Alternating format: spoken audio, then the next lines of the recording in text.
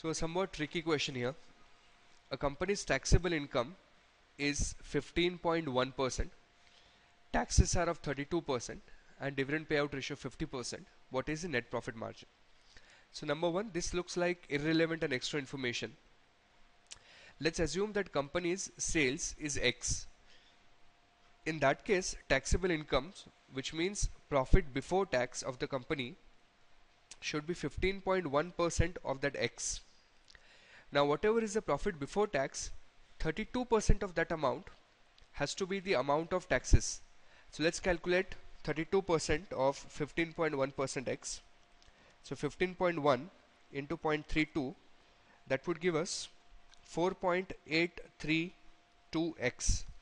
So once we reduce the taxes, what we would get is the profit after tax which would be 15.1 minus 4.832 which would leave us with 10.26 and therefore the net profit margin of the company the correct answer is option C